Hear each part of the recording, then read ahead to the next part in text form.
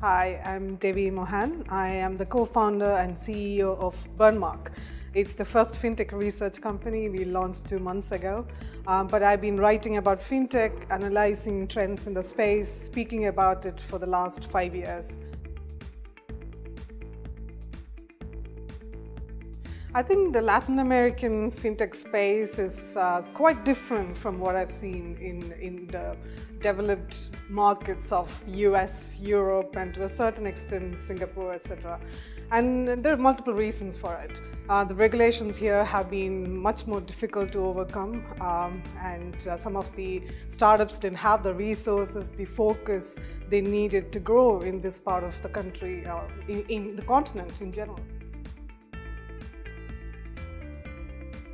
What I've seen here in this conference is absolutely exciting for Latin America because NXTP Labs has actually brought in some of the best people in all these things that we talked about banks, startups, the investors from around the world, influencers from around the world, people who understand the local economy, people who understand the global trends, and they have actually brought in all of that to one place. And the kind of conversations we are having as a result of that is tremendous, and uh, it's been phenomenal.